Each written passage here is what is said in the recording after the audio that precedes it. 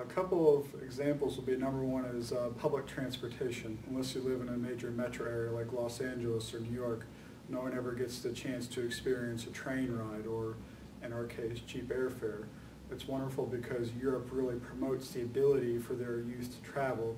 They offer cheap accommodations as well as cheap airfare.